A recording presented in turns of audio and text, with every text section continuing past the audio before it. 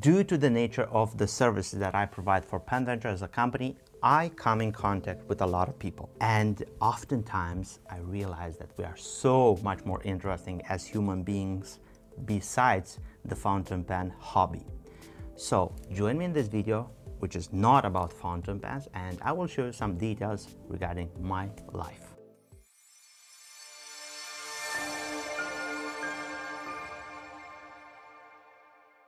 Welcome back to the channel, ladies and gentlemen. I'm your host, Emy from PenVenture. Welcome to another video in the Not About Fountain Pens series.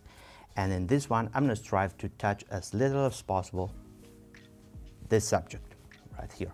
Anyway, I come from a family of three uh, siblings. So I'm the firstborn and I have another brother and another sister. As I was a child, I was raised in the northern part of Romania still here. I do remember that I was very, very interested as a child regarding watches. I do remember uh, going out with my mom and I was uh, looking at the counters in the watch store and uh, I said that I will want to own a wristwatch when I will get my first money I will buy one. Till then my mom uh, bought me a lot of watches and uh, some of them I still have today. I collected a few watches, nothing super, super big as a collection and all of that, but I do have some Casio watches, G-Shocks, I do have an Atlantic, which was uh, mechanical movement, and uh, I do have a Zeppelin,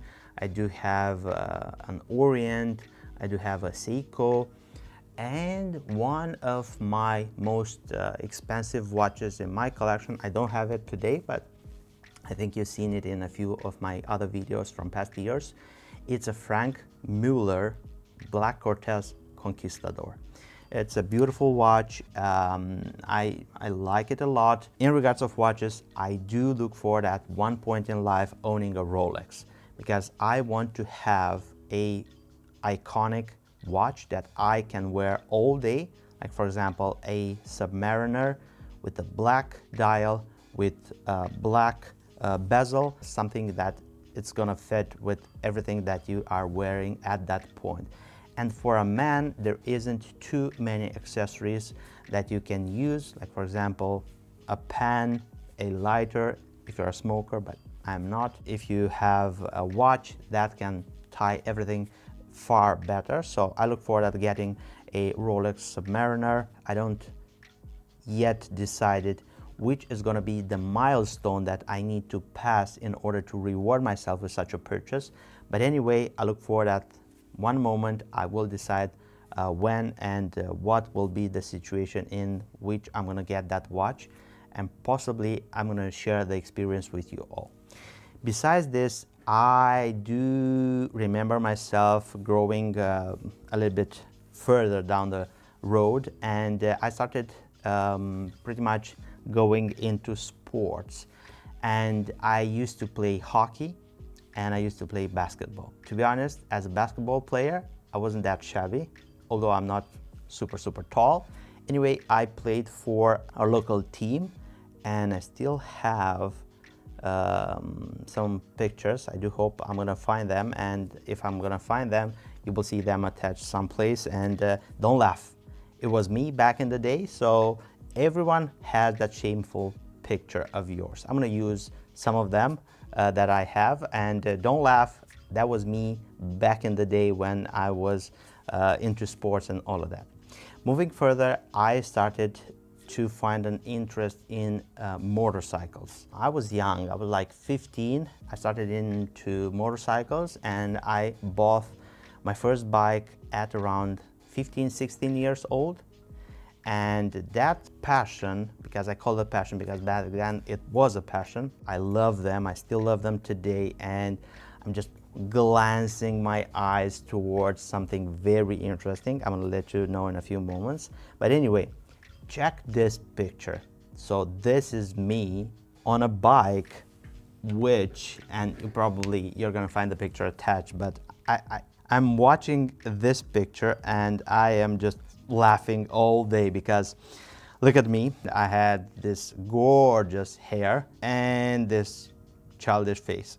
Yeah, it was back in the day when I was to just simply close the door to the home and take my helmet, take my gear, take my friends and just ride through the hills.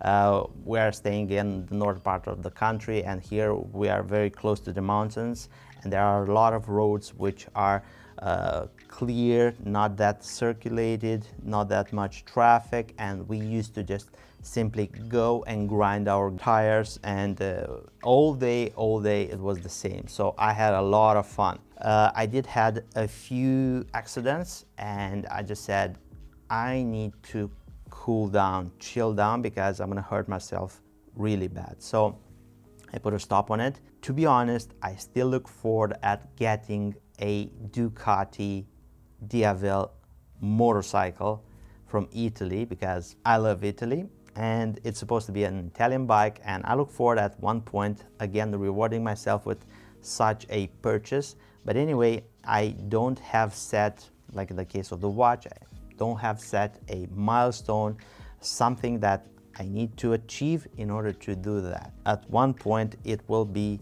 the time for such an toy to say so because we had uh, a saying among us men don't grow up actually only the size and the value of the toys are going to increase as they move forward in life. And in my case, the toys remained rather small, like this pen and others, but yeah, it got more expensive.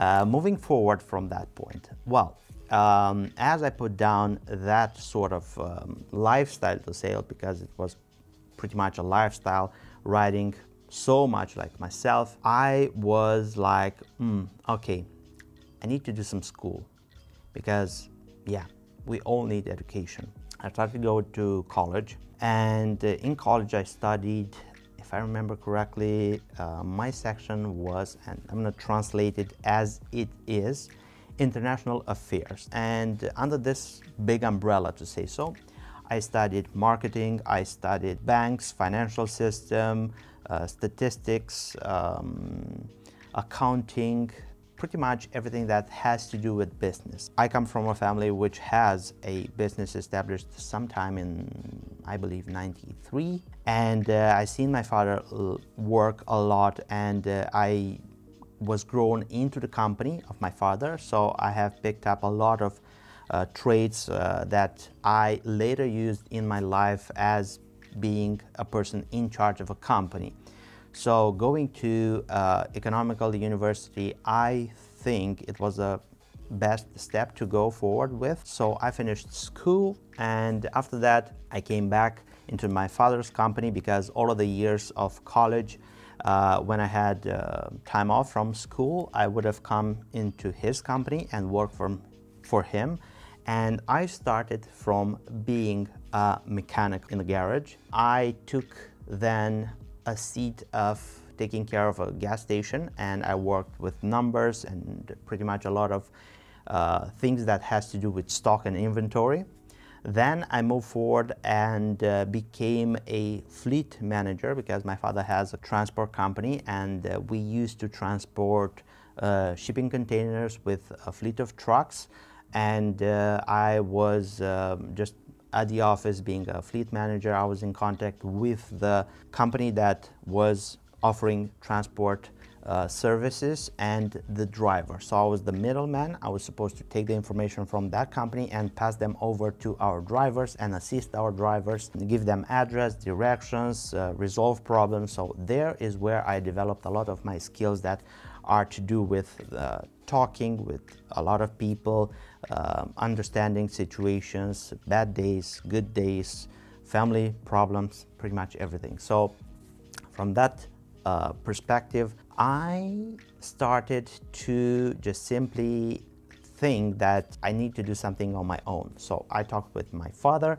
and uh, I actually took responsibility and I said, I need a loan and I want to start my own company. And this is when I was 21 years old. At that age, I wouldn't knew that many things that I know today, but I wanted to do something different. So I said to him, I need a loan and I want to do something in transport business, but not in the same uh, market or area like you do. And I had a few meetings with some ports and some companies that are working closely with ports and I signed some contracts and I started my business eight months after uh, the point of me getting into a talk with my father and asking for a loan from him. And I learned a very, very valuable lesson once I started to have uh, my own company, my own employees, and I grown to understand the responsibility of a person in charge um, that has to offer a lot of people different assurances, wages, to understand every situation and to mediate in between the company that is offering the transport services, the drivers, my accountant, pretty much everyone. So from when I was 21 years old, roughly around, I believe, eight to nine years, I spent growing that business. And uh, it was an awesome ride. I learned a lot of things. I grown to find that I was working in an environment that I don't felt that comfortable. And it was a lot of stress and it still is. And uh, I just said, I think I want to pursue something else. Also in this time, I managed to stumble upon fountain pens again because throughout these years when I was in school, I still was looking often about having writing instruments beside me. So I used to have fountain pens from first grade uh, until college, after college, pretty much every single time you would see me with a fountain pen. And it was something like this, maybe this Waterman, which I still own today.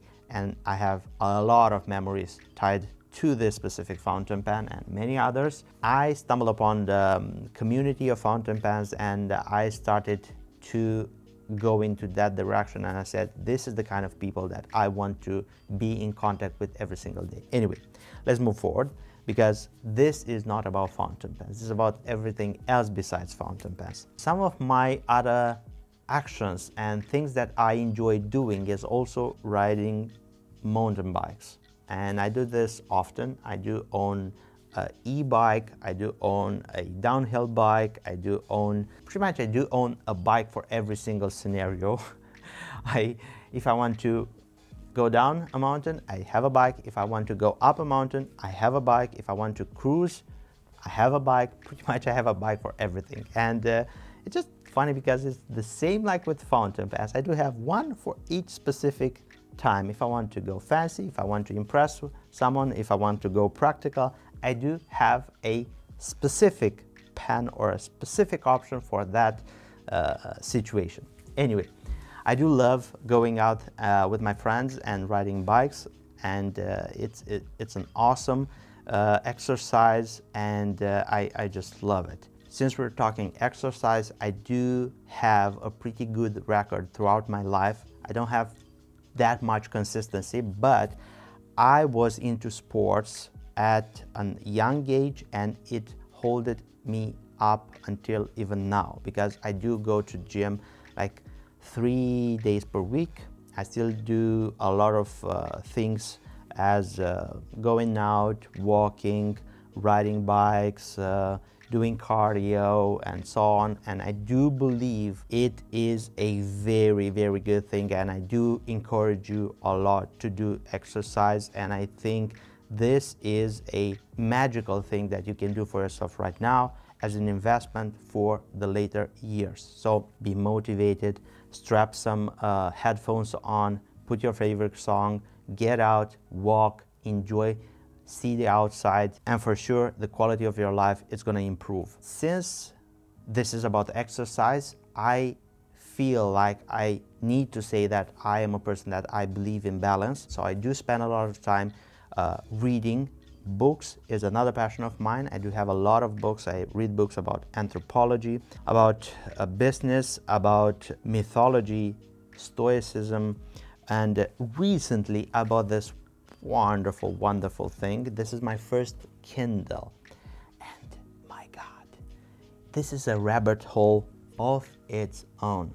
I just love this thing and it's with me ever since I got it and I am buying books and reading books left and right every single day. So books is another very, very good way to train your mind. I don't know if you have time or not, but make time for reading a book or two or how many do you want because we all have time. If you are in the metro station, if you're traveling someplace, uh, stop watching at your phone every single time. So take a book and read because it will help you a lot. And for me, I read in English because it helps me to develop my vocabulary and to be more articulated with the way I talk in front of the camera. So this is a bonus as well. Reading books, staying a lot of time in front of the PC, my eyes were hurting. So I got into a new rabbit hole, sunglasses and prescription glasses. This new pair is from a place in Italy that I stumbled upon when I was at the Visconti convention.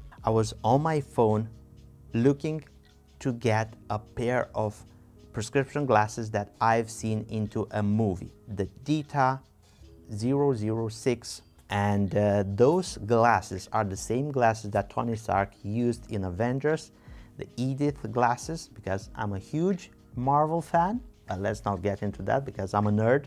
And when I was in Italy, I said, I'm gonna find a place in Florence where they are selling products from the Dita brand. And I stumbled upon Bottega di Sguardi. My God, my God, it's a huge rabbit hole. This is the second pair that I got because the other ones I sent back for some minor adjustments. To be honest, I just love this tools to say so because my eyes are feeling so much better and also they are slowly slowly catching up to me because I come to realize they are the same level of seriousness and details like a fine writing instrument. You will see that the craftsmanship that goes into creating this prescription glasses is insane. We're talking about titanium, materials, techniques, and it's just slowly, slowly growing on me. And I do love the fact that I can add some style to the tools that I use to feel better as a human being to perform better. If you are interested to acquire such a piece like this or anything, and if you're passing through Florence, they do have a store. They have multiple, multiple pieces of very interesting eyewear that you can try on. I'm gonna leave you a link down below. You can check their website. I do have pretty much a ton of other things that I enjoy doing, but they don't come up right now in front of the camera because this is the sort of video uh, that I record live and I don't have a script or I don't have anything. For now, this is what I want to share with you. You've seen a lot of pictures or not that many. I will see how much I can find in my phone from the old days that are not that awkward and I feel comfortable sharing them with you all.